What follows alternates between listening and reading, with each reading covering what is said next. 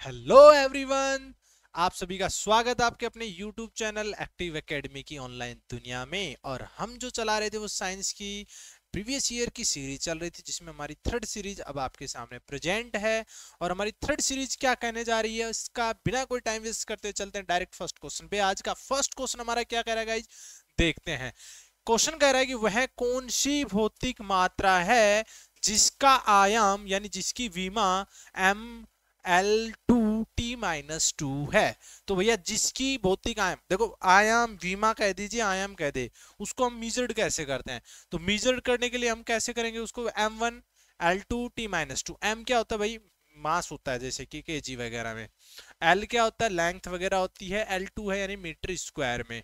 और बात करें टी माइनस टू यानी कि second S E C second square तो ये किसका मात्रक होता है गाइज़ इनमें से। तो देखते हैं, पहला ऑप्शन आपका है, किया गया कार्य। दूसरा है आपका संवेग। तीसरा ऑप्शन आपका दबाव। चौथा ऑप्शन आपका बल।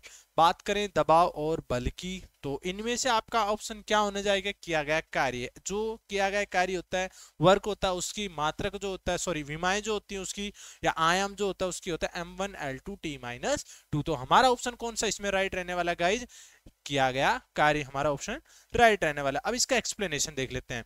एक्सप्लेनेशन में पहले बात कर रहे हैं कि भौतिक राशि की विमाएँ या उनकी घात भौतिक राशि की विमाएँ, उन घातों व घातांकों के को कहते हैं, जो उन राशियों को व्यक्त करने के लिए मूल राशियों पर निर्भर रहती है। मूल राशियों पर, मूल राशि जैसे कि बात करें हम एम यानी कि मास एल यानी लेंथ टी यानी कि समय।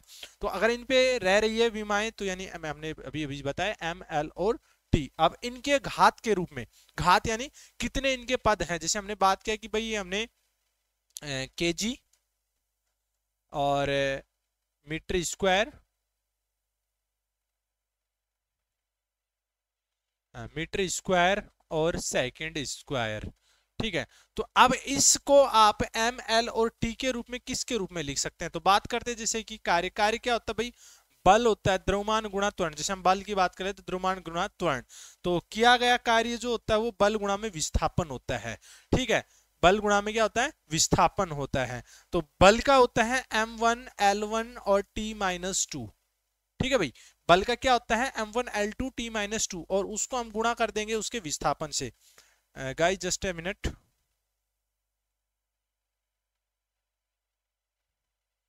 yes yes okay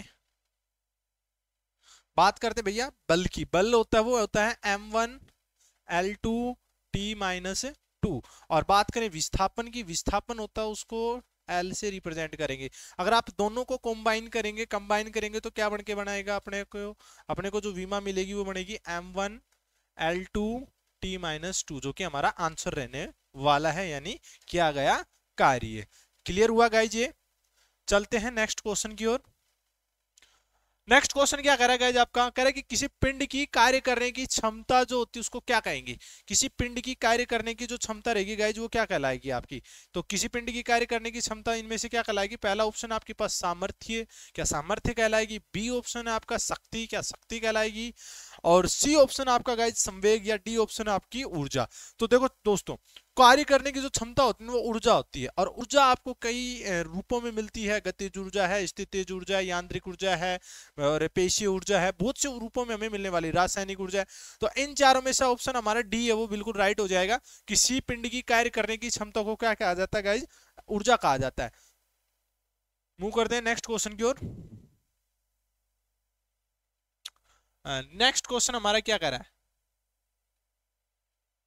next question कह रहा है कि माचिस की डिब्बी की सतह से जब माचिस की तिल्ली टकराती है, जब माचिस की जो डिब्बी होती है, उस माचिस की डिब्बी की सतह से जब तिल्ली टकराएगी तो ऊर्जा का कौन सा रूप एक चमकीली लो के रूप में प्रज्वलित होता है? भाई, जब आपके पास माचिस होती है और एक आपके पास माचिस की तिली है तो जो आप उसके ऊपर जब घिसते हैं तो उससे पहले तो आपके पास आग या कोई भी फायर थी, वो थी नहीं।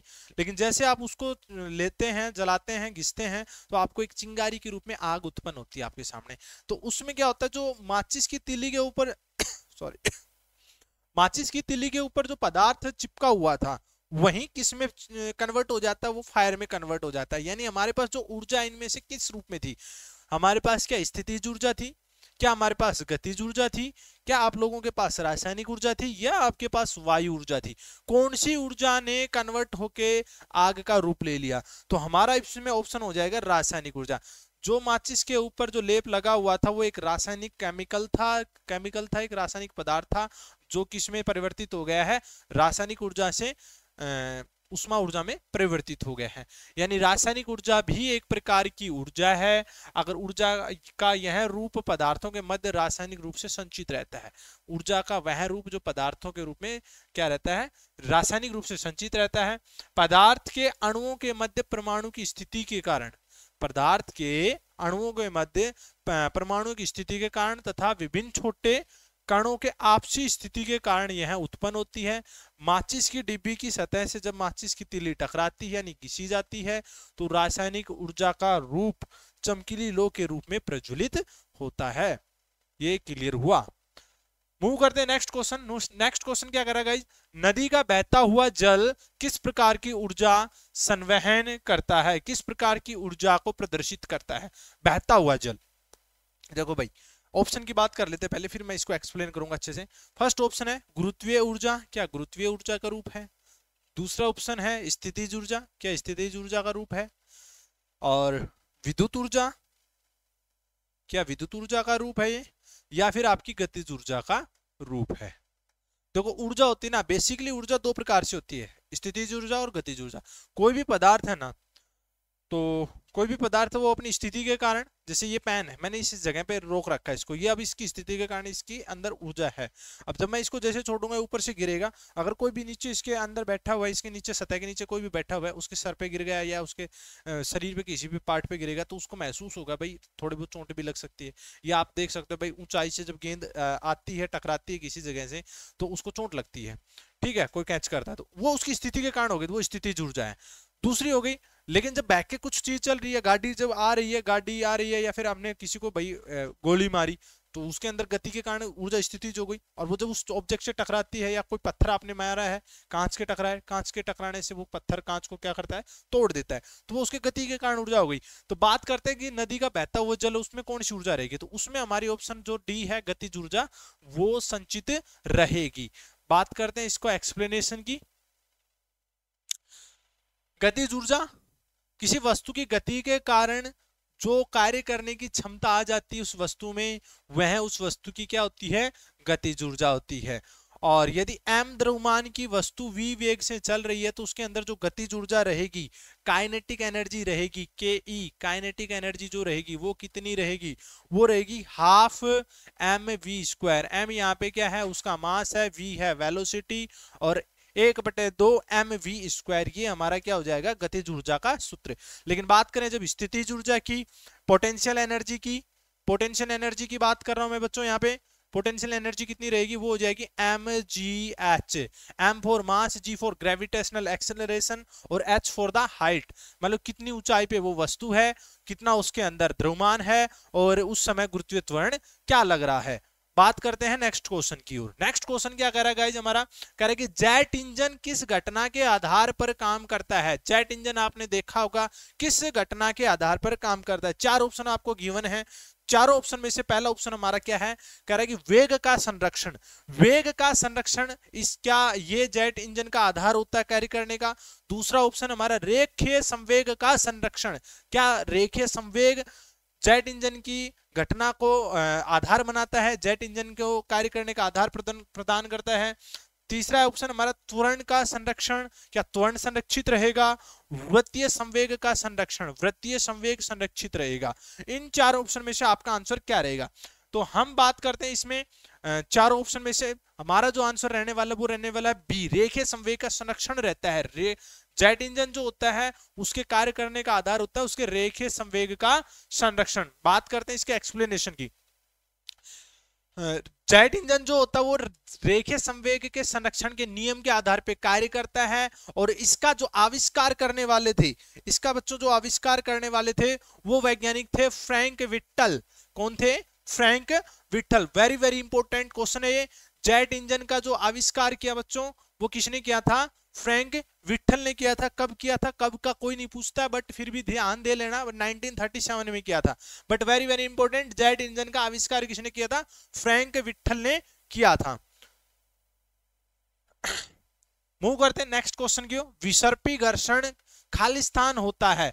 विसर्पी घर्षण वो खाली स्थान होता है। अब इसकी तुलना कर रखी है। किस किस से? सीमित घर्षण के साथ कर रखी है। सीमित घर्षण के साथ इसकी तुलना कर रखी है। तो क्या कर रहा है? क्वेश्चन कह रहा है कि सीमित घर्षण के साथ इसका क्या रिलेशन होगा? विसर्पी घर्षण का। तो कह रहा है विसर्पी घर्षण सीमित घर्षण से थोड़ा अधिक होता है। क्या विसर्पी घर्षण सीमित घर्षण से थोड़ा अधिक होगा? दूसरा है सीमित घर्षण से थोड़ा कम रहेगा। सीमित घर्षण के समान रहेगा। सीमित घर्षण से कभी कम या कभी अधिक रहेगा।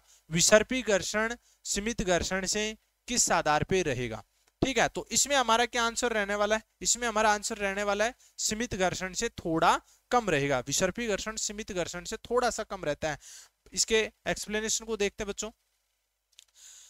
विसर्पी घर्षण, सीमित घर्षण से थोड़ा कम होता है। पहले हम बात करते हैं फ्रिक्शन होता है क्या है? घर्षण होता है क्या है? घर्षण को पढ़ते हैं। घर्षण क्या होता है बच्चों? एक बल जो दो तलों के बीच सापेक्षिक स्पर्श गति का विरोध करता है। सापेक्षिक स्पर्श गति का विरोध करता है। सपोज़ करें, ये एक आपके पास समतल है और उसके ऊपर ये जो पेन है मेरा, ये एक प्रकार का एक बॉक्स है। जब आप इस बॉक्स को इस पे इस पे हम खिसकाते हैं तो आपको एक बल लगाना पड़ेगा। जो आप जो बल लगा रहे हैं, उसका विरोध करेगा। ठीक है, आप किसी ऑब्जेक्ट को धक्का दोगे तो कुछ चीज़ ऐसी होगी जो उसका विरोध भी करेगी। और वो क्या चीज़ रहेगी? वो हमारा रहेगा घर्षण। क्या रहेगा वो? घर्षण रहेगा। घर्षण बल का मान दोनों तलों दोनों तलों के बीच अभिलंब पर निर्भर करता है। दोनों तलों के ऊपर जो अभिलंब बनेगा, जैसे कि ये समतल है भैया, ये जैसे आपका प्लेन हो गया, ठीक है? और ये हमने बना दिया एक बॉक्स ये एक डब्बा बना दिया, ठीक है? ठीक है? और एक लड़का ये है, ये लड़का है, वो क्या करना चाह रहा है, इसको धक्का देना चाह रहा है, ठीक है? ये लड़का इसको धक्का देना चाह रहा है तो एक जो बल रहेगा इन इस जगह पे, वो क्या करेगा? वो इसका विरोध करेगा, जो कौन सा बल रहेगा? आपका घर्षण बल रहेगा। कौन सा बल रहेगा बच्चों? घर्षण बल रहेगा, जो इसकी गति का क्या करेगा? विरोध करेगा। ठीक है? अब हमारे दैनिक जीवन में जो घर्षण होता है, सीमित घर्षण क्या होगा? सीमित घर्षण, एक ऐसा घर्षण होगा, विसर्पी घर्षण से थोड़ा सा कम रहेगा। विसर्पी घर्षण होता है, जब तक कोई ऑब्जेक्ट हिलता नहीं है ना तो उस समय जो घर्षण लग रहा है वो विसर्पी घर्षण होता है। सीमित घर्षण उसकी लिमिट को क्रॉस कर देता है। मान लो विसर्पी घर्षण से थोड़ा सा जैसे अधिक हुआ, वो जो भी ऑब्जेक्ट आपके पास, जो भी बॉक्स है, वो मूवमेंट की पोजीशन में आ जाता है मूवमेंट की स्थिति में आ जाता है। तो सीमित घर्षण होगा, वो क्या रहेगा? विसर्पी घर्षण से थोड़ा सा अधिक रहेगा या विसर्पी घर्षण सीमित घर्षण से थोड़ा सा कम रहेगा। दैनिक जीवन में घर्षण एक बहुत महत्वपूर्ण स्थान है। पृथ्वी की सतह पर चलने वाले प्रत्येक वाहन की गति की सतह या वाहन के आधार के बीच घर्षण बल द्वारा ही संभव है। देखो गाइज़ कोई भी व्यक्ति है वो लिख सकता है। लिखने का कारण होता है वो घर्षण बल होता है। हम किसी गाड़ी को रोक सकते हैं, उसका कारण भी क्या होता है? आपका घर्षण बल ही होता है। कोई भी क्रिकेटर वगैरह है या खिलाड़ी है, वो खेलता है तो स्पाइक्स के जूते पहनता है, यानी घर्षण बल से रोक, रोकने के लिए ही पहनता है, ताकि वो फिसले ना। जब कोई सतह बिल्कुल चिकनी हो जाती है तो उसका घर्षण बल का मान कम हो जाता है। तो मूव करते हैं इनके नेक्स्ट क्वेश्चन पे। बताने को बच्चों, काफ़ी ज़्यादा है, लेकिन जब मैं स्पेशल एक एक टॉपिक को लेकर चलूँगा तो मैं आपको अच्छे से एक्सप्लेन करूँगा। अभी इसी पे फोकस करते हैं हम। घर्षण के संबंध में निम्नलिखित में से कौन सा विकल्प सही है? घर्षण के संबंध में निम्नलिखित में से कौन सा ऑप्शन जो गिवन है आपको वो सही है? पहला ऑप्शन है, घर्षण गति का विरोध करता है। घर्षण होता है वो गति का विरोध करता है, क्या बताएँगे आप लोग? घर्षण जो होता है वो टूट फूट का कारण नहीं होता है। किसी वस्तु की टूट फूट का कोई कारण नहीं होता घर्षण। देखते हैं भाई। अगला है, घर्षण ऊर्जा को नष्ट नहीं, घर्षण से ऊर्जा नष्ट नहीं होती है, घर्षण से ऊर्जा को कोई नुकसान नहीं होगा, ऊर्जा जैसी वैसी रहेगी, देखते हैं इसको भी। घर्षण से उष्णता का उत्पादन नहीं होता है। उष्णता का उत्पादन नहीं होता है। भाई, सबसे पहले तो हम उष्णता वाला सॉल्यूशन कर देते हैं। हाथों को ऐसे रगड़ोगे, आपको गर्मी पैदा होगी हाथों में, ठीक है? इसका मतलब चौथा ऑप्शन तो हमारा बिल्कुल गलत हो गया उष्णता तो पैदा होती है।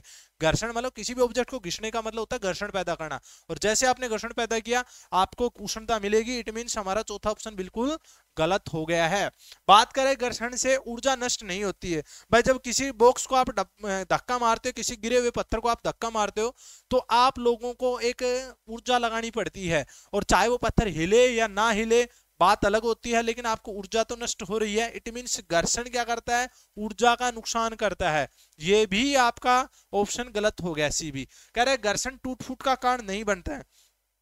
देखो बच्चों, कई बार मशीनियों में या आपने देखा होगा पंखों वगैरह में जब बैरिंग उसका रुक जाता है तो आपका पता चलेगा कि भाई बैरिंग टूट भी जाता है या जो आपने देखा होगा भाई मोटरसाइकिल वगैरह में या किसी बड़ी गाड़ी में घर्षण जब ज़्यादा बढ़ जाता है ना, उसमें बेरिंग बोल बेरिंग की जाती है तो बोल बेरिंग उसका घर्षण को कम करने के लिए की जाती है। लेकिन अगर बोल बेरिंग प्रॉपरली टाइम पे नहीं हो रही तो वो मशीनरी खराब हो जाती है डैमेज हो जाती है। इट मीन्स घर्षण जो होता है वो टूट फूट करने का मशीनरी में काम करता है। यानी ये भी ऑप्शन हमारा गलत हो गया है। ऑप्शन ए है घर्षण गति का विरोध करता है बिल्कुल सही आंसर है ये। घर्षण जो होता है, वो गति का बिल्कुल विरोध करता है।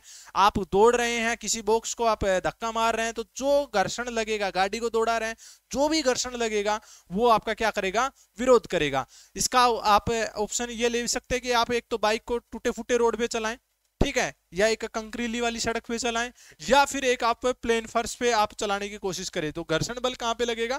कंक्रीली जो सड़क रहेगा, पथरीला जो मार्ग रहेगा, उस पर घर्षण बल अधिक लगेगा। तो हम कह सकते हैं घर्षण क्या करेगा? गति का विरोध करता। ऑप्शन ए हमारा बिल्कुल राइट रहेगा बच्चों। घर्षण बल वह गुण है जिसके कारण दो विषम वस्तुओं के मध्य प्रतिरोधी बल उत्पन्न होता है, जो एक वस्तु को दूसरी वस्तु पर, एक वस्तु को दूसरी वस्तु के सापेक्ष खिसकने का विरोध करता है। घर्षण कहलाता है। घर्षण बल जो सदा वस्तु की संभावित गति अथा खिसकने की दिशा में विपरीत कार्य करता है। यानी ये बॉक्स से आपकी ये गेंद है। अगर गेंद खिसकना चाह रही है इधर तो घर्षण बल लगेगा भैया इधर। ये इधर मोशन हो रहा है। तो फ्रिक्शन लगेगा बच्चों इसकी अपोजिट डायरेक्शन में। ठीक है? फ्रिक्शन किधर लगेगा बल को इसकी अपोजिट डायरेक्शन में लगेगा। अगर राइट right साइड में आपका मोशन हो रहा है तो लेफ़्ट साइड में आपका फ्रिक्शन अनुभव होगा। मूव करते हैं बच्चों नेक्स्ट क्वेश्चन की और नेक्स्ट क्वेश्चन क्या कह रहा है भाई हमारा? कह रहा कि एक साधारण लोलक की समय सीमा खाली स्थान पर निर्भर करती है। साधारण लोलक यानी सिंपल पेंडुलम इसकी बात कर रहे हैं कि उसका टाइम पीरियड समय सीमा जो वो किस चीज़ पर निर्भर करता है? तो भाई आपने देखा होगा कि साधारण लोलक तो आपने देख ही रखा होगा, ट्वेल्थ क्लास में पढ़ा होगा कभी, या फिर आपने वो देखी होगी दीवार घड़ी जिसमें पेंडुलम लगा होता है, और इस टाइप से जैसे 12 या 6 बजते हैं तो टन टन की आवाज़ करने लग जाता है घूमने लग जाती है। वो तो इनमें से वो किस चीज़ पे निर्भर करता है? तो पहला ऑप्शन है लोलक की लंबाई पर, लोलक बोब के द्रव्यमान पे। लोलक बोब होता है जो उसमें वो लट्टू होता है ना नीचे नीचे लटका रहता है, उसको कहते हैं लोलक बोब, ये एक धातु का गोला होता है। और लोलक के तंतु में तनाव, तंतु मतलब कि जो जिसकी सहायता से उसको लटकाया गया है, उसमें कितना तनाव फील हो रहा है, कितना स्ट्रेस फील हो रहा है, उसके ऊपर निर्भर करता है या लोलक की सामग्री पे। लोलक किस धातु से बन के बना हुआ है, इन चीज़ों पे निर्भर करता है। तो इन चारों में से हमारा कौन सा ऑप्शन रहने वाला राइट बिल्कुल सही ऑप्शन हमारा ए लोलक की लंबाई जो होती है, वो साधारण लोलक की समय सीमा को क्या करती है?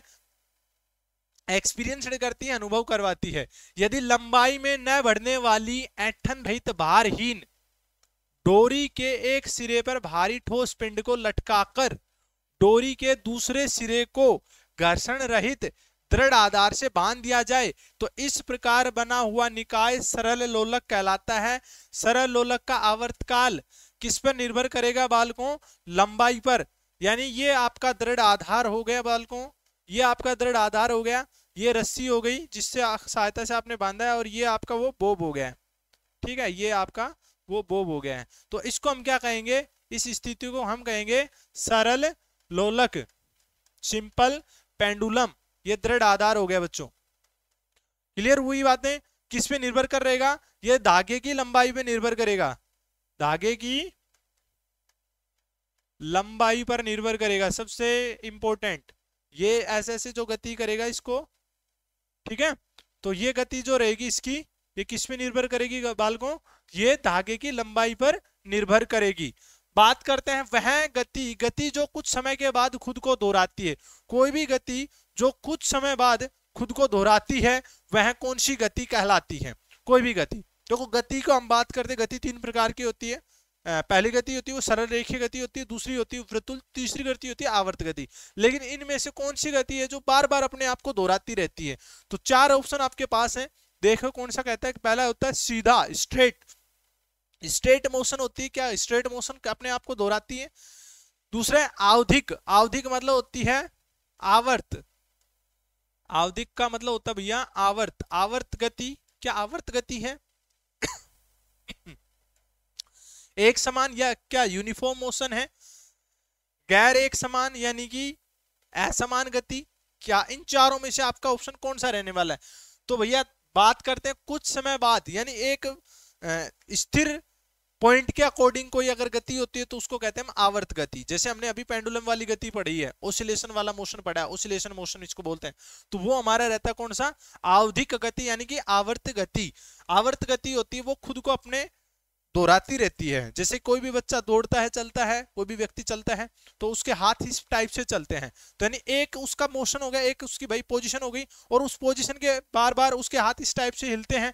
तो ये हाथ हिलने वाली पोजीशन जो हो गई है बच्चों, वो किस, कैसी हो गई है? वो आपकी आवर्त गति वाली हो गई है। आपने देखा होगा कि एक झूला लटका होता है, पेड़ की एक डाल के तो वो पेड़ की डाल के जो झूला लटका हुआ है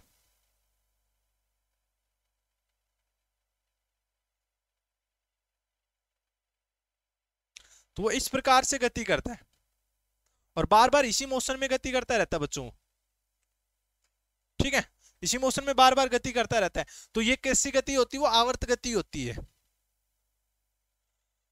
वह गति जिसमें कोई वस्तु या पिंड एक निश्चित समय अंतराल पर और एक निश्चित पथ पर, निश्चित समय अंतराल रहेगा इनका और पथ भी निश्चित हो जाता है। फिक्स इनका पैथ हो जाता है और खुद की गति को दोहराता है इस प्रकार की गति, आवधिक या आवर्त गति कहलाती है।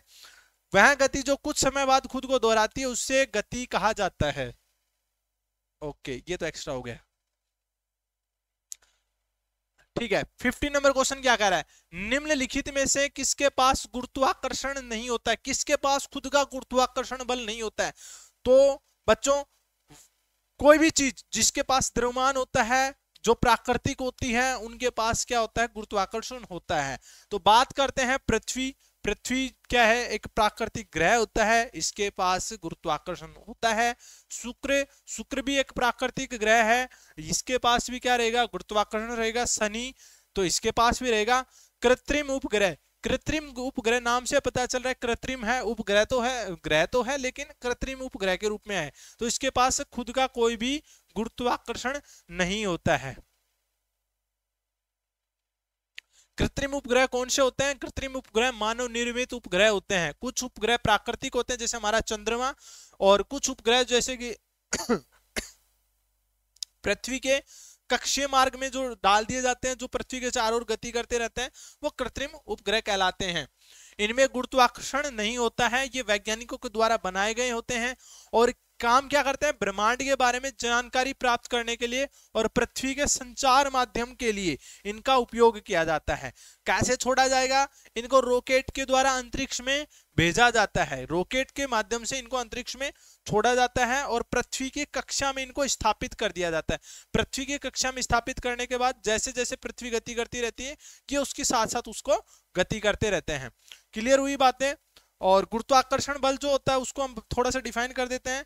गुरुत्वाकर्षण दो कणों के बीच कार्य करने वाला आकर्षण बल होता है और उन कणों उन कणों के द्रव्यमानों के गुणनफल तथा समानुपाती और उनके बीच की दूरी के वर्ग के व्युत्क्रमानुपाती होता है। अगर गुरुत्वाकर्षण बल की बात करें, कैपिटल जी की बात करें तो बाल को क्या होगा? दो पिंड है तो m1 m2 उनके तो क्या रहेगा? समानुपाती और उनके।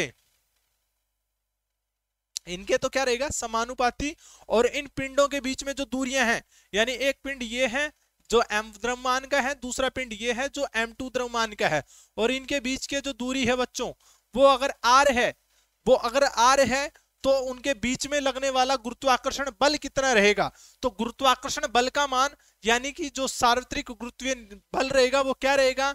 उन दोनों के दिए हुए द्रव्यमानों के गुणनफल के समानुपाती और उनके बीच की दूरी, यानी आर आर के क्या रहेगा? वर्ग के व्युत्क्रमानुपाती रहेगा। क्लियर हुई बातें? कणों के बीच कार्य करने वाले पारस्परिक आकर्षण बल को ही ग्रेविटेशनल फोर्स यानी गुरुत्वाकर्षण बल कहते हैं, उससे उत्पन्न बल को गुरुत्वीय बल कहा जाता है। क्लियर हुई बातें? सो मूव करते हैं नेक्स्ट क्वेश्चन की ओर। कह रहे कि स्थिर गति से दौड़ रही एक रेलगाड़ी, गति जो है रेलगाड़ी को स्थिर है, एक समान गति है। उसमें बैठा है यात्री, और वो यात्री क्या करता है? गेंद फेंकता है। जो लंबवत ऊपर की दिशा में गेंद फेंकता है, अब वो गेंद कहाँ पे गिरेगी? कोई यात्री है? ट्रेन में बैठा हुआ है भैया। ये आपकी ट्रेन है, ठीक है? और इसमें इस सीट पे कोई यात्री बैठा है भाई। ये बैठ गया यात्री। अब इसके हाथ में कोई गेंद है, इसने ऊपर फेंकी। अब ये गेंद गिरेगी कहाँ पे? तो गेंद कहाँ गिरेगी? जब गति इसकी एक समान है तो इनमें देख से देखते हैं भाई, कौन सा ऑप्शन है? क्या यात्री के हाथों में, क्या यात्री के सामने, क्या यात्री के पीछे वह रेलगाड़ी की गति की दिशा पर निर्भर करता है। तो गाइज़ अब तुम कहोगे, सर, ये क्या क्वेश्चन हुआ? इसमें ट्रेन में गेंद वो कहाँ पे गिरेगी? नीचे गिरेगी, सर? भाई क्वेश्चन ऐसे ही आते हैं। रेलवे के स्पेशलिस्ट क्वेश्चन है। रेलवे के जो एग्ज़ाम होते हैं ना, जो पिछले साल हुए थे 2017 18 के बीच में हुए थे, भैया, उनमें ऐसे क्वेश्चन बम्फर आए थे बम्फर भर भर के। ठीक है? बम्फर भर भर के क्वेश्चन आए थे और उसी का सिलेक्टेड क्वेश्चन है। मैं यहाँ पे जो सीरीज़ करवा रहा हूँ, ये केवल सिलेक्टेड क्वेश्चन की है। किसी ना किसी एग्ज़ाम्स में आए हुए की ही है। ठीक है? तो अब इनके बारे में तो आप सोचे ना कि सर इतना हल्का क्वेश्चन है। बच्चे जहाँ पे क्वेश्चन हल्के होते हैं, वहीं पे मार खाते हैं। ठीक है? क्योंकि एक लेवल होता है क्वेश्चन का। टॉप लेवल के क्वेश्चन होते हैं, वो तो किसी को नहीं आते। हैं वो तो सभी के रेंज से बाहर होते हैं। मीडियम लेवल के क्वेश्चन होते हैं, पढ़ने वाले कर देते हैं। लेकिन वो मेरिट कौन निर्धारित करेगा, जो बिल्कुल हल्के क्वेश्चन होते हैं वो। क्योंकि वहाँ पे जो ज़्यादा इंटेलिजेंट बच्चे होते हैं ओवर स्मार्ट बच्चे होते हैं, वो उस क्वेश्चन को हल्के में ले जाते हैं और गलत ऑप्शन फिल कर देंगे। ठीक है? और वही उनके पीछे रहने का कारण बन जाता है। बात करते हैं इक्यावन नंबर क्वेश्चन में तो इनमें से वो गेंद कहाँ गिरेगी? तो यात्री के हाथों में गिरेगी, यात्री के सामने गिरेगी, यात्री के पीछे या रेलगाड़ी की गति की दिशा पे। जब गति, स्थिर गति की है तो इसका मतलब गेंद उसके रेलगाड़ी की जो गति है, वो उसके गेंद के गिरने पर किसी प्रकार से प्रभावित नहीं कर सकती है। अब वो उसको ऊपर फेंक रहा है, लंबवत गति में। जो लंबवत गति में फेंकेगा तो वो वापस नीचे की ओर उसी जगह पे आएगी। यानी उस व्यक्ति के हाथों में ही आएगी। यात्री के हाथों में ही आएगी। लेकिन यहाँ पे उसको एक कंडीशन और देनी चाहिए थी कि जो ट्रेन है, वो बंद है। और बंद अगर रहेगी तो वो उस पर हवा का और अन्य जो रुकावटें उस पर किसी प्रकार से उसको किसी प्रकार से क्या नहीं कर रही है? आ, निर्भर नहीं कर रही उसकी रुकावटें उसको किसी प्रकार से परिवर्तनशील नहीं कर रही हैं। तो हमारा ऑप्शन क्या हो जाएगा? यात्री के हाथों में। बात करते हैं नेक्स्ट क्वेश्चन की ओर। जी का मान न्यूनतम होता है। जी फोर होता है भैया गुरुत्वीय त्वरण। आपको बता दूँ जी कर क्या होता है? गुरुत्वीय त्वरण। हमारे साइंस में जी को गुरुत्वीय त्वरण इंग्लिश में जी फोर ग्रल हो सकता है, ग्रेप्स हो सकता है, लेकिन हमारे साइंस में जी फोर होता है गुरुत्वीय त्वरण तो गुरुत्वीय त्वरण का मान न्यूनतम कब होता है? आपको तीन जगह दे रखी है, विश्वत रेखा पर, उत्तरी ध्रुव पर और दक्षिणी ध्रुव पर। किस जगह पे जी का मान न्यूनतम होता है? जी का जो मान होता ना, जैसे ये पृथ्वी है, ये आपका उत्तरी ध्रुव हो गया, ये आपका दक्षिणी ध्रुव हो गया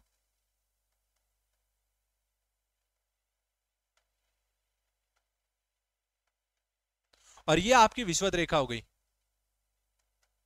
विश्ववत रेखा। कहाँ पे जी का मान रहेगा सबसे कम? तो बच्चों जी का मान जो होता है ना, विश्वत रेखा पे सबसे कम रहता है। उत्तरी ध्रुव पे और दक्षिणी ध्रुव पे सर्वाधिक रहता है।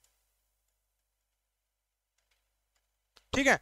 विश्वत रेखा पे क्या रहेगा? सबसे कम, सर्वाधिक कहाँ रहेगा? ध्रुवों पे। ध्रुवों पे क्या रहेगा? सबसे सर्वाधिक होता है, यहाँ पे भी सर्वाधिक रहेगा। एंड माय डियर स्टूडेंट जो विश्वत रेखा होती है, यानी ये वाला एरिया ठीक है?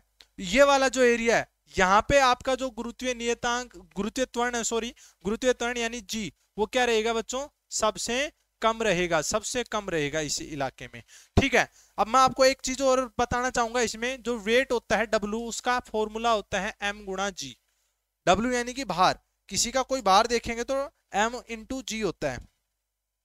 My dear student W equals to M G यानी ये फॉर्मूला कहाँ से आया भाई? सबको बताए भाई फोर्स होता है, उसी का फॉर्मूला एम जी तो भार होगा भार मतलब कि उसके ऊपर पृथ्वी कितना बल लगा रही है, पृथ्वी के ऊपर कितना बल लगा रहा है तो वो डब्ल्यू उसका वेट हो गया। वो एम जी से नियतांक होता है एम मतलब होता है उसका कितना? एम मतलब उसका कितना? मास है। एम मतलब उसका मास कितना है। और जी मतलब कि गुरुत्वीय त्वरण कितना है? तो जहाँ पे गुरुत्वीय त्वरण सर्वाधिक रहेगा, वहाँ पे उसका वज़न सबसे ज़्यादा रहेगा। और जहाँ पे गुरुत्वीय त्वरण क्या रहेगा? सबसे कम रहेगा। गुरुत्वीय त्वरण जहाँ पे कम रहेगा, वहाँ पे उसका भार सबसे कम रहेगा। इस प्रश्न को दूसरे तरीके से भी पूछ सकता है। किसी व्यक्ति का सबसे अधिक भार कहाँ होगा और किसी व्यक्ति का भार सबसे कम कहाँ अनुभव होगा? तो सर्वाधिक जो भार रहेगा, वो उसके ध्रुवों पे निर्भर करेगा। क्योंकि उसका बॉडी जो मास है वो तो चेंजेबल नहीं है। मास होता है, वो सार्वत्रिक होता है और सभी जगह एक समान होता है। चाहे उसको अमेरिका में छोड़ दो, चाहे उसको नेपाल में छोड़ दो, चाहिए उसको पृथ्वी से बाहर कहीं पे ले जाके छोड़ दो। तो मास जो रहेगा, द्रव्यमान जो रहेगा, वो अपरिवर्तनशील होता है और वो नियत रहता है। बात करते हैं जी की, जी होता है वो अलग अलग स्थिति पे बदलता रहता है। अगर कोई विश्वत रेखा पे तो उसका कम रहेगा। तो बात करते हैं अगर जी अगर कम है तो वेट भी कम हो जाएगा। जी अगर जहाँ पे अधिक है तो वहाँ पे वेट भी ज़्यादा हो जाएगा। यानी दक्षिण ध्रुवों पर तो क्या हो जाएगा भैया? वेट बढ़ जाएगा। और आप जब आओगे विश्वत रेखा वाले इलाके में, वहाँ पे वेट क्या हो जाएगा बच्चों? कम। यानी अगर कोई हीरोइन है ठीक है, और उसको अपना वेट ज़्यादा दिखाना है। तो ज़्यादा दिखाने के लिए उसको कहा जाना चाहिए बच्चों? बिल्कुल डेफिनेट दक्षिणी ध्रुवों पे या उत्तरी ध्रुवों पे जाना चाहिए। लेकिन अगर उसको वेट कम करना है, कम दिखाना है तो वो कहा जाएगी? वो विश्वत रेखा पे आके अपना वज़न की जाँच करवाएगी। मूव करते हैं नेक्स्ट क्वेश्चन की ओर। नेक्स्ट क्वेश्चन हमारा क्या कह रहा है? नेक्स्ट क्वेश्चन कह रहा है कि एक व्यक्ति तुला की मदद से अपना वज़न 600 न्यूटन मापता है। वज़न जो होता है वो न्यूटन में मापा जाता है माय डियर स्टूडेंट 600 न्यूटन मापता है। यदि वह व्यक्ति एक पाँच मीटर पर सेकंड की गति से ऊपर जा रही लिफ्ट में उसी तुला पर खड़ा हो जाता है। यानी उस लिफ्ट के अंदर उसने वह तुला भी रख दी और उस तुला के ऊपर वह खड़ा भी हो गया। और जो लिफ्ट की गति है डियर स्टूडेंट वो है भैया कितनी? पाँच मीटर प्रति सेकंड पर सेकंड तो तुला में दर्शाया गया भार क्या रहेगा? अब क्या भार में कमी आएगी या वृद्धि होगी? देखते हैं भैया ऑप्शन क्या क्या कह रहे हैं। कह रहे हैं कि 600 न्यूटन से भार कम हो जाएगा 600 न्यूटन से भार अधिक हो जाएगा और 600 न्यूटन के समान हो जाएगा। या ज़ीरो के समान हो जाएगा। My dear student W equals to हमने अभी अभी बताया था एम जी और जी यहाँ पे क्या रहेगा? M into A plus G इसको समझते हैं ए प्लस जी क्योंकि total acceleration A for the that for the object भाई, जो ऑब्जेक्ट है ना, उसका एक्सिलरेशन कितना हो रहा है? और जी यहाँ पे ग्रेविटेशनल एक्सिलरेशन है, ठीक है? तो ग्रेविटेशनल एक्सिलरेशन तो सभी की स्थिति में समान रहेगा, लेकिन उस ऑब्जेक्ट का एक्सिलरेशन क्या है? ये भी मायने रखता है। तो इस स्थिति में माई डियर स्टूडेंट जब वह लिफ्ट है, वो पाँच मीटर प्रति सेकंड की रफ्तार से जा रही है। इट मीन्स वो एक समान गति से जा रही है। पाँच मीटर प्रति सेकंड एक समान गति होगी। जब उसकी गति में कोई परिवर्तन ही नहीं हो रहा है, प्रारंभिक वेग और अंतिम वेग में कोई परिवर्तन ही नहीं हो रहा है तो उस स्थिति में भैया त्वरण जो होता है एक्सेलरेशन जो होता है, उसका मान क्या हो जाएगा? ज़ीरो हो जाएगा। यानी ए की वैल्यू क्या हो जाएगी डियर स्टूडेंट ज़ीरो हो जाएगी। Zero plus G zero plus G यानी कि एम जी जो कि पहले बार था, उसी केस में हो गया ना। ये तो पहले वाला बार था, यानी 600 न्यूटन और 600 न्यूटन। अब हो जाएगा तो इन ऑप्शन में से हमारा कौन सा हो जाएगा? 600 न्यूटन के समान, यानी जितना उसका वेग था, उसी के समान। लेकिन जब उसके वेग में परिवर्तन होता है, उसके त्वरण में वृद्धि होती है, जब त्वरण में वृद्धि होगी तो उसका भार 600 न्यूटन से बढ़ जाएगा, जो त्वरण में कमी होगी, यानी मंदन होगा तो 600 न्यूटन से उसका वज़न कम हो जाएगा। मूव करते बच्चों, नेक्स्ट क्वेश्चन की ओर। नेक्स्ट क्वेश्चन क्या कह रहा है डियर स्टूडेंट कह रहा है कि अप्रयुक्त किताब अप्रयुक्त किताब मतलब जो किताब आपने काम ही नहीं ली है। कह रहा दो वर्ष के लिए सेल्फ पर बनी रही। दो वर्ष के लिए आपने सेल्फ पे रख दी और वहीं पे गिरी रही वो। जब तक उसे हटाया नहीं गया था, यह किसी का एक उदाहरण है। जब तक आपने उस सेल्फ पर से उस किताब को हटाया नहीं, बहुत बार होता है जब तक परीक्षा नहीं आती है, भर्ती नहीं आती है, तब तक हम किसी किताब को हटाते नहीं है। चाहे धूल लगो, चाहे मिट्टी लगो, हमें उससे कोई तात्पर्य नहीं रहता है। तो माई डियर स्टूडेंट ये किस प्रकार का उदाहरण है? गति के कौन से नियम का उदाहरण है। कह रहे कि पहला न्यूटन की गति का तृतीय नियम है ये। दूसरा कह रहा है कि आंशिक रूप से न्यूटन की गति का प्रथम नियम है और न्यूटन की गति का तृतीय नियम है। कह रहा है कि प्रथम नियम भी है और उसी में तृतीय नियम भी लग रहा है। या फिर कह रहा है न्यूटन की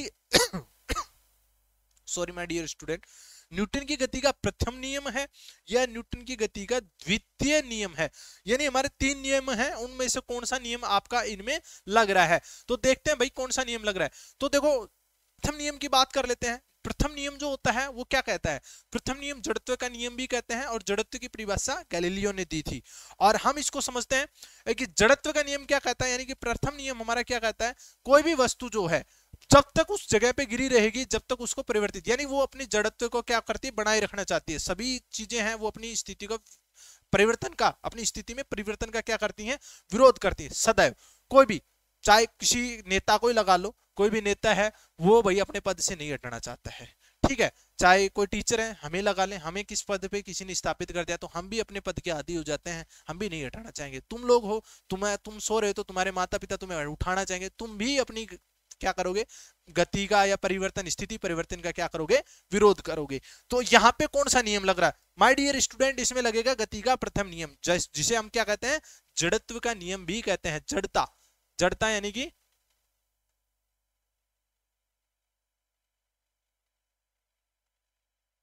जड़त्व। जड़त्व का नियम भी कहते हैं इसको। क्या कहते हैं? जड़त्व का नियम भी कहते हैं। क्लियर हुई भाई? मूव करते हैं बच्चों नेक्स्ट क्वेश्चन की और नेक्स्ट क्वेश्चन क्या कह रहा है? थोड़ा सा एक्सप्लेनेशन वही है सेम मैंने बता दिया है। जड़ न्यूटन का प्रथम नियम क्या कहता है? कोई भी स्थिर वस्तु जब तक स्थिर रहेगी, जब तक उस पर कोई बाह्य बल आरोपित नहीं किया जाता है। और, अतः यह स्पष्ट है, कोई भी वस्तु कितने भी वर्षों तक वहीं पड़ी रहेगी, जब तक उसे वहाँ से हटाया नहीं जाएगा। क्लियर हो गई होगी बातें? मूव करते बच्चों नेक्स्ट क्वेश्चन की ओर। कह रहे कि मैं दीवार पर एक मारने के लिए गेंद फेंकता हूँ। मैंने दीवार पर एक गेंद को फेंका। ठीक है? अब रिएक्शन क्या हुआ? रिएक्शन वह हुआ है कि वह वापस मेरे पास आ जाती है। यह किसका एक उदाहरण है? मैंने बॉल को दीवार पे फेंका और बॉल दीवार से टकराने के बाद वापस मेरे पास रिटर्न बैक हो गई है। अब ये उदाहरण किसका है? देखिए बच्चों, आंशिक रूप से न्यूटन की गति का प्रथम नियम लग रहा है और न्यूटन के गति का द्वितीय नियम भी लग रहा है। कह रहे कि थोड़ा सा तो गति का द्वितीय नियम और प्रथम नियम दोनों लग रहे हैं। बात करते हैं बी ऑप्शन न्यूटन की गति का प्रथम नियम लग रहा है। न्यूटन की गति का कौन सा नियम लग रहा है? प्रथम नियम लग रहा है। तीसरा ऑप्शन है, न्यूटन की गति का ओनली द्वितीय नियम लग रहा है, या फिर कह रहा है कि न्यूटन की गति का तृतीय नियम लग रहा है।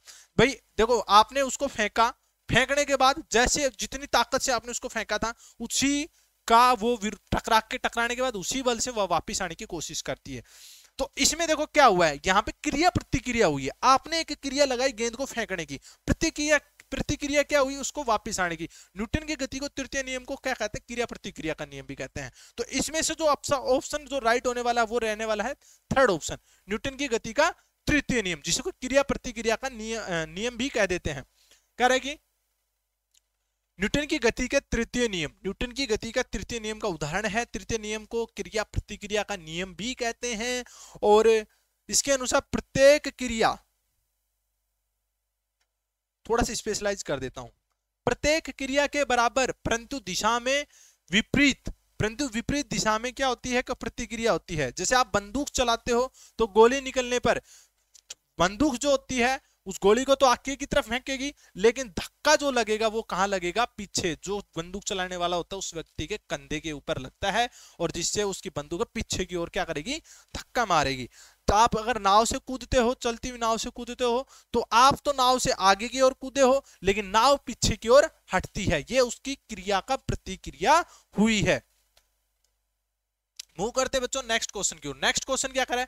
एक गतिशील बस में अचानक ब्रेक लगाने से सवारी आगे की ओर झुक जाती है। यह किस नियम का पालन करता है? बस चल रही है बच्चे बैठे हैं, आपकी माँ भी कहती है, बैठ जा मुन्ना, बैठ जा, नहीं दांत टूट जाएँगे, क्योंकि ड्राइवर अंकल ब्रेक लगाएँगे, तेरे दांत हैं, वो उससे अगली सीट पे टकरा जाएँगे तो टूट जाएँगे। क्लियर? तो अब इसमें, अब तुम्हें नहीं पता था ना, ये वाली घटना भी कोई नियम बन सकती है। सबने किए होगा ऐसे तो क्योंकि हम तो रुक नहीं सकते हैं, लेकिन हमें ये नहीं पता, एग्ज़ाम में भी ऐसे क्वेश्चन आ जाते हैं। तो देखिए भैया, क्या कहता है? यहाँ पे हमारे न्यूटन जी का नियम काम में आ रहे हैं, बट कौन सा नियम काम में लग रहा है? न्यूटन का प्रथम नियम न्यूटन का द्वितीय नियम, न्यूटन का तृतीय नियम, संवेग का नियम, संवेग का नियम। देखो भाई तो न्यूटन का प्रथम नियम में मैंने अपने को बताया था, आपको ध्यान है तो। मैंने कहा था कि कोई भी वस्तु होती है वो अपनी जड़त्व का जड़त्व का क्या करती है? पालन करती है। जड़त्व होता है, दो प्रकार से भाई, गति का भी जड़त्व हो सकता है, स्थिर अवस्था का भी जड़त्व हो सकता है।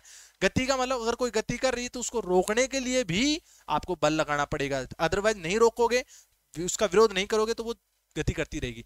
लेकिन जैसे आपने बच्चों, जैसे आपने उसका विरोध किया, जैसे ये suppose that this one is a boy और बड़ा खुश हो रहा है अब ये भैया जी बैठे हैं सीट पे सीट पे बैठे हैं, अब ड्राइवर अंकर ने लगा दिए ब्रेक अब जैसे ब्रेक लगे, पूरी बॉडी थी ना, वो गति की अवस्था में थी। लेकिन एक्चुअल में क्या था, इसके जो कमर से नीचे वाला हिस्सा था ना, ये तो था बस के संपर्क में, ठीक है?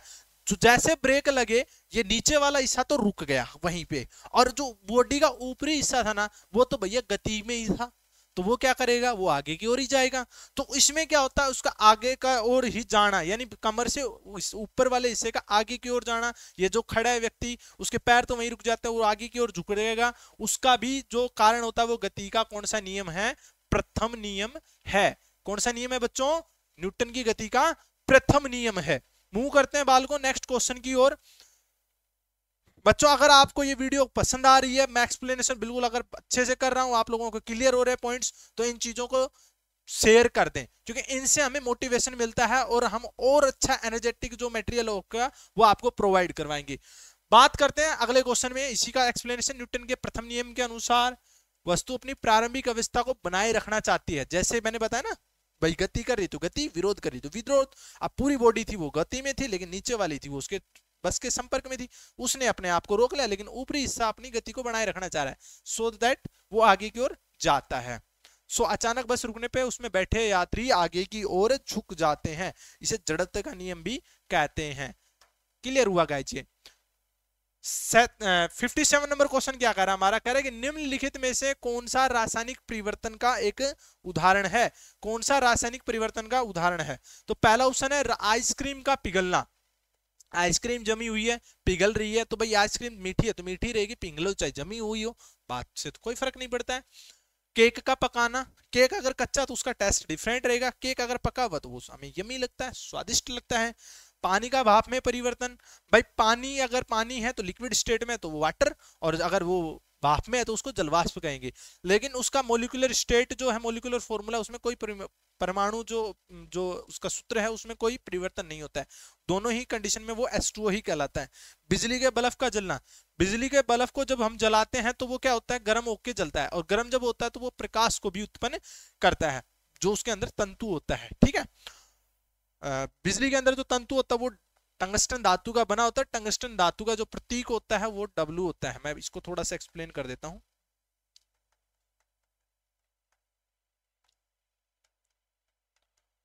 ये भी आया हुआ क्वेश्चन है। ठीक है तो इन चारों में से आपका कौन सा ऑप्शन जो रासायनिक परिवर्तन का एक उदाहरण है? तो option number A sorry B cake का पकाना। केक का पकाना जो है, वो रासायनिक परिवर्तन का क्या है? उदाहरण है। केक पकाना, रोटी पकाना, सब्ज़ी पकाना या फिर फल का पकना, ठीक है? जितने भी पकने वाले हैं, वो सारी चीज़ें क्या है? रासायनिक परिवर्तन का उदाहरण है। क्लियर हुई बातें? भौतिक परिवर्तन वह होता है जिसमें परिवर्तन के कारक को अगर आप हटा दोगे तो पदार्थ पुनः पूर्व अवस्था में प्राप्त हो जाए। यानी बल्ब को आपने जलाया, स्विच ऑफ़ किया बल्ब वापस बुझ जाएगा। आपने बर्फ़ को जो भी आइसक्रीम है, उसको अपने फ्रिज से बाहर निकाला, पिघलने लग गई, वापस फ्रिज में डाला तो वापस जम जाएगी। ठीक है? या जलवाष्प अगर पानी को गर्म किया तो भाप बन गई, पानी को ठंडा किया तो भाप से वापस पानी में आ जाएगा। लेकिन, जब आप उसको केक को पकाते हो तो अगर आप बंद कर दो, पकने के बाद आप उसको बंद कर दोगे, ओवन वगैरह को तो क्या वापस केक उसमें, कच्चे वाले केक में चला जाएगा? नहीं जाएगा। इट मीन वहाँ पे क्या हुआ है? रासायनिक परिवर्तन हुआ है।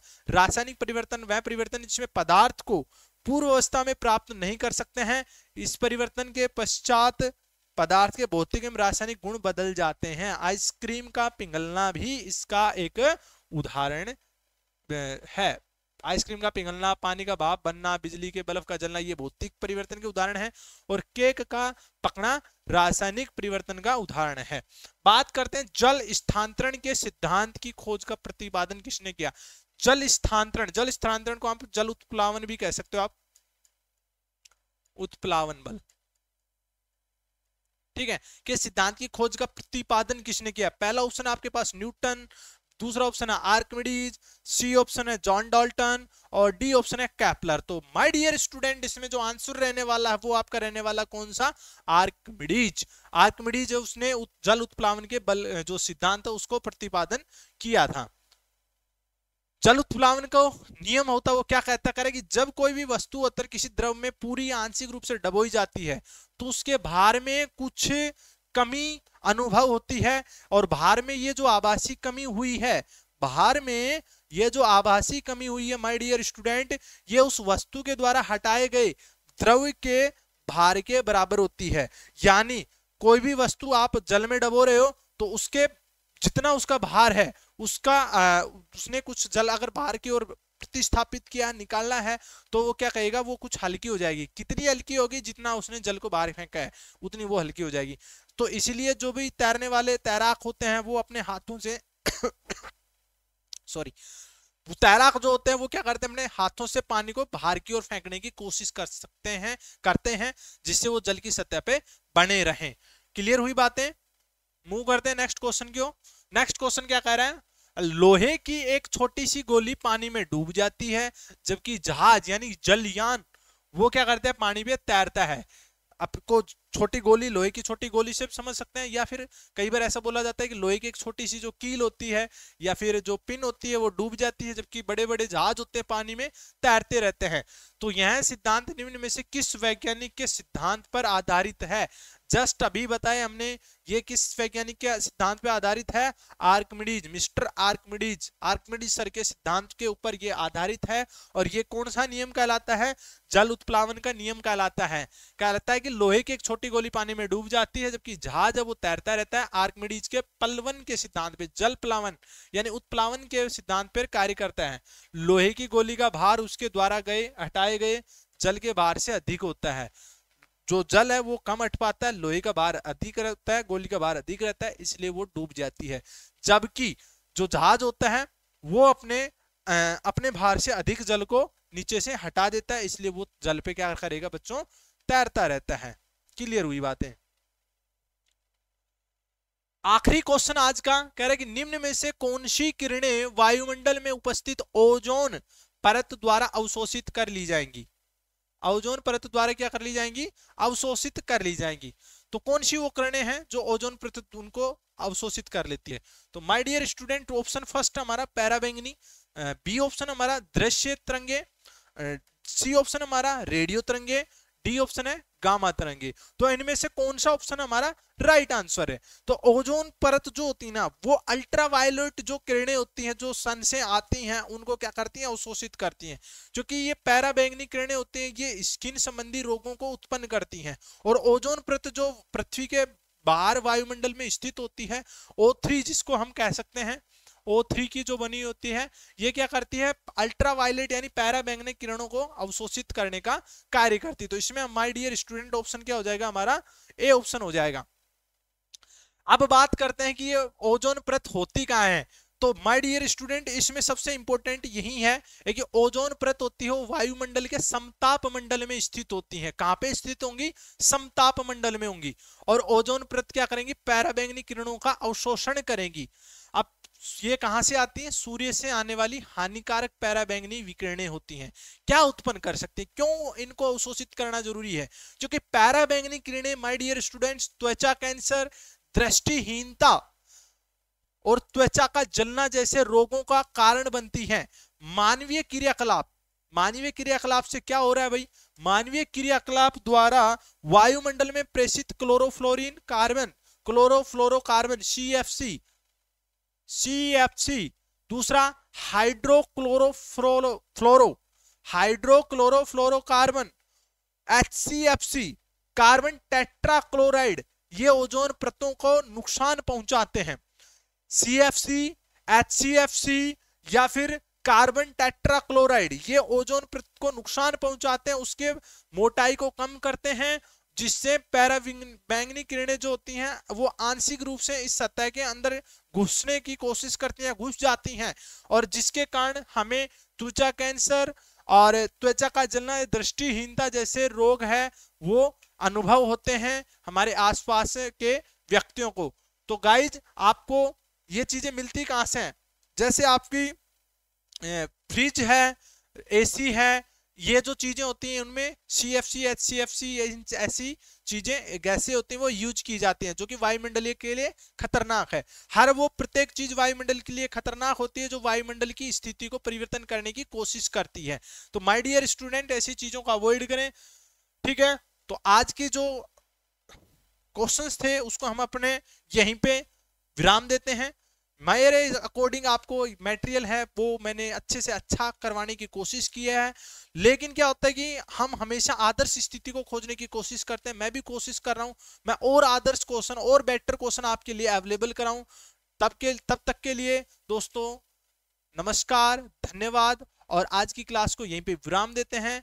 आप इस वीडियो को ज़्यादा से ज़्यादा लाइक करें शेयर करें। चैनल को सब्सक्राइब नहीं किया तो माय डियर स्टूडेंट सब्सक्राइब ज़रूर कर लीजिए। नमस्कार।